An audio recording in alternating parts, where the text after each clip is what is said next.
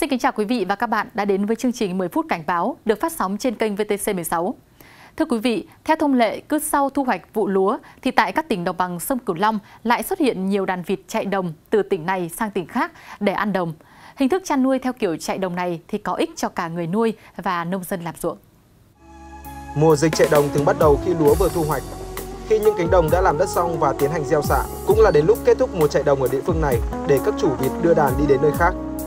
Tại các tỉnh đồng bằng sông Cửu Long, mỗi địa phương đều có rất nhiều đàn vịt chạy đồng ở các tỉnh lân cận di chuyển sang để kiếm ăn.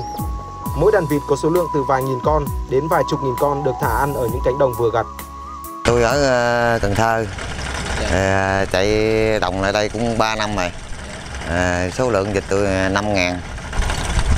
Coi như là dầu mỡ đồ lên, rồi thức ăn lên, rồi chi phí nó nặng rồi tiền đồng rồi này kia nó rồi tính ra lại thua mấy năm trước không chỉ tiết kiệm chi phí cho người nuôi mà hình thức nuôi vịt chạy đồng cũng giúp đồng ruộng sạch hơn như tiêu diệt các loại côn trùng trên đồng ruộng và giúp nông dân hạn chế tình trạng lúa dai cho vụ sau từ những hạt lúa bị sót khi thu hoạch vụ trước. Ngoài ra, nguồn phân vịt cũng bổ sung chất hữu cơ cho đồng ruộng Vâng thưa quý vị, nuôi vịt chạy đồng mang lại lợi ích khá cao cho người dân, nhưng mà việc di chuyển đàn khắp nơi thì cũng tiềm ẩn nhiều nguy cơ bùng phát dịch bệnh, nhất là dịch cúm gia cầm. Bên cạnh đó thì lượng vịt chạy đồng lớn, ý thức tự giác trong phòng chống dịch của người dân chưa cao cũng tạo nên nhiều áp lực cho ngành thú y và địa phương trong việc quản lý, giám sát dịch bệnh cho đàn gia cầm. Những mũi vaccine phòng cúm gia cầm này được cán bộ thú y huyện Hồng Ngự tiêm cho đàn vịt chạy đồng của một hộ dân trên địa bàn. Do rơi vào vụ thu hoạch lúa đông xuân nên huyện Hồng Ngự có nhiều bầy vịt chạy đồng trong và ngoài tỉnh đến chỗ béo. Thì mình lo sợ đây ừ, bùng phát cho nên anh em mới ờ, tuân thủ theo cái ờ, tiêm phòng theo ờ, của nhà nước đó. Ở đâu cũng vậy, mình tới mình báo với chính quyền địa phương. Mặc dù đa phần các chủ dịch chạy đồng đều có ý thức hợp tác, tạo thuận lợi cho công tác của lực lượng thú y, bên cạnh đó cũng có trường hợp gây khó khăn. Ví dụ như với chủ dịch này, dù khẳng định rằng bầy dịch đã được tiêm phòng nhưng lại không xuất trình được giấy tờ chứng minh. Thì thường thường giấy tờ mình phải mang theo tùy thân. Nhưng mà ngặt có cái nó gấp quá rồi chết không có ai hết trơn. Rồi có hai cha con tôi không thì, thì quên lấy rồi chẳng có chạy về nhà được. Ở ngoài đồng mình xuống tàu cho cái mình đi luôn à thì tới thì mình mới đem giấy tờ lên làm qua trong quá trình kiểm tra thì có những hộ thì cũng chấp hành tốt. Mà nhưng có những hộ thì à, vì cái lý do mà tiêm phòng mà những những cái đàn gia cầm mà khác tỉnh à, tới à, địa bàn tỉnh Đồng Tháp thì thu tiền. Cho nên là có một số hộ là họ diện, diện lý do này nọ để mà họ kéo dài thời gian xuất trình cái giấy chứng nhận tiêm phòng. Và sau đó họ đi di chuyển đi nơi khác. Không có giám sát được vấn đề tiêm phòng. Và thời hạn miễn dịch của cái đàn dịch này thì vô tình mà nó xảy ra dịch cúm thì đó là một cái là cái môi trường rồi gieo rắc có mầm bệnh Hiện Đồng Tháp có tổng đàn vịt gần 2 triệu 700 ngàn con, trong đó 80% là vịt chạy đồng. Tỷ lệ đã được tiêm phòng dịch cúm gia cầm mũi 1 là gần 47% trên tổng đàn, mũi 2 là 26% trên tổng đàn. Như vậy, vẫn còn số lượng lớn vịt cần được tiêm phòng. Tăng cường cái công tác tuyên truyền, vận động để cho cái cái người chăn nuôi nói Ờ, nói chung và người chăn nuôi vịt chạy đồng nói riêng thì có được cái ý thức là phòng bệnh tham mưu cho sở nông nghiệp để phát động cái tháng vệ sinh tiêu độc khử trùng. Đối với cái trường hợp mà những cái trường hợp mà cố tình như vậy thì cũng à, phối hợp với chính quyền địa phương cũng như là anh em thú y xã là cho những cái hộ chăn nuôi này là làm cái cam kết là phải uh, tiêm phòng cái vaccine cúm gia cầm cho đàn gia cầm của mình xử phạt với những cái hành vi hoặc là những cái người chăn nuôi mà cố tình không có tiêm phòng cái vaccine cho đàn gia cầm của mình Hiện cả nước đã xảy ra ổ dịch cúm gia cầm. Tình hình này đòi hỏi sự vào cuộc quyết liệt của ngành chức năng lẫn sự chủ động của các hộ nuôi. Bởi không ai khác, chính các hộ nuôi sẽ là người chịu thiệt hại đầu tiên khi dịch bệnh xảy ra. Thưa quý vị, trong gần một thập kỷ qua, trung bình mỗi năm, thế giới phải tiêu hủy hàng trăm triệu con gia cầm do dịch cúm gia cầm tại khu vực châu Á. Tính đến thời điểm này thì sau hơn 100 năm xuất hiện, chưa quốc gia nào trên thế giới có thể kiểm soát được dịch cúm gia cầm. Biện pháp duy nhất là khi phát hiện dịch đó là tiêu hủy toàn bộ đàn gia cầm và thủy cầm, bệnh và nghi bệnh. Với cơ chế là lây lan mạnh mẽ, dịch cúm gia cầm đã khiến Việt Nam luôn nằm trong tình trạng báo động bùng phát dịch bệnh cúm gia cầm thì vẫn luôn là sự sợ hãi của các hộ chăn nuôi tại Việt Nam. Bởi lẽ, bệnh không có thuốc điều trị đặc hiệu. Trong khi đó, thì đàn vật nuôi khi nhiễm bệnh, chúng sẽ bị chết trong vòng 24 giờ. Thiệt hại cho người chăn nuôi là vô cùng lớn. Nhưng nguy hại hơn cả là dịch vẫn tiếp tục lây lan sang con người và xuất hiện những chủng virus cúm gia cầm mới, nguy hiểm hơn với hàng trăm biến thể. Để phòng chống bệnh cúm gia cầm, một trong những phương pháp hiệu quả nhất hiện nay là tiêm phòng vaccine theo hướng dẫn của cán bộ thú y. Khi tiêm phòng xong, cần cho gia cầm ăn uống tốt để nâng cao sức đề kháng, nâng cao hiệu quả kháng thể, tạo miễn dịch tốt cho con vật. Quy trình tiêm cụ thể như sau.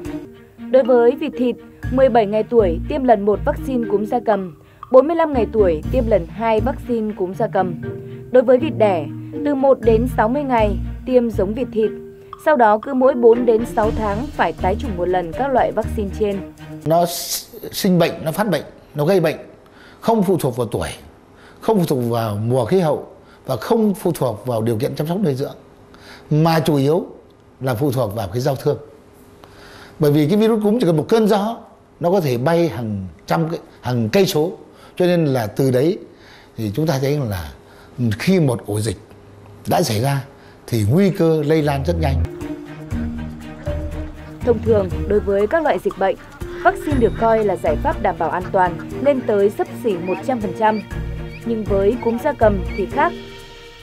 Virus cúm gia cầm có khả năng biến dị, hình thành chủng mới, biến thể mới, mạnh và nguy hiểm hơn dạng thể ban đầu và chúng có thể tồn tại tới 122 ngày ở ngoài môi trường. Vì vậy, nếu chỉ tiêm vaccine mà không đảm bảo các yếu tố vệ sinh chăn nuôi thì cúm gia cầm rất dễ bùng phát. Bệnh cúm hay là dịch cúm gia cầm nó không trừ ai cả. Nó sẵn sàng bùng phát bất cứ ở đâu và bất cứ lúc nào. Cho nên phải cảnh giác cao độ bằng cách là gì? Chủ động phòng chống bệnh. Các loại cúm H5 đều đã có vaccine như là H5N1, H5N6, H5N8. Ngoài việc phòng dịch bằng vaccine, thì chúng ta cần tiến hành các biện pháp phòng dịch khác như là tăng cường an toàn sinh học trong các trang trại, thực hành tốt vệ sinh dịch tễ tại cả các trang trại lẫn chợ buôn bán. Điều quan trọng nữa là phải phát hiện được dịch càng sớm càng tốt khi nó xuất hiện để thực hiện các biện pháp khống chế dịch. Để phòng dịch bệnh tốt, người chăn nuôi cần phải vệ sinh, tiêu độc, khử trùng chuồng trại, khu vực chăn nuôi, thường xuyên vệ sinh chuồng trại, dụng cụ, trang thiết bị chăn nuôi từ 1 đến 2 lần một tuần bằng các loại hóa chất như chloramin B, bencoxit, iodine. Dùng vôi bột rắc xung quanh khu vực chuồng nuôi, hệ thống cống rãnh, khu vực có người qua lại.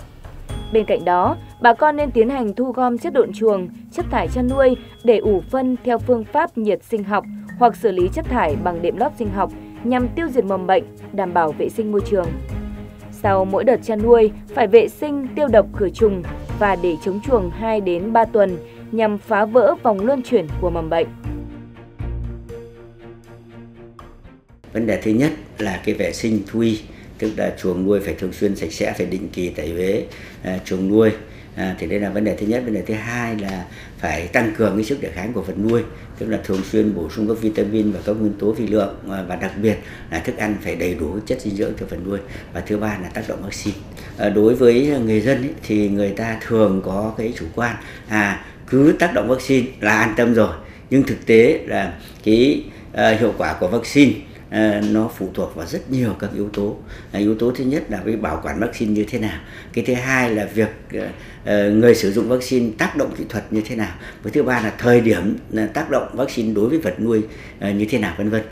Tổ chức Dịch tế Thế giới và Tổ chức Y tế Thế giới cũng đồng loạt khuyến cáo sử dụng vaccine và áp dụng phương pháp chăn nuôi an toàn sinh học được đánh giá là phương pháp phòng chống dịch cúm gia cầm duy nhất và hiệu quả nhất hiện nay.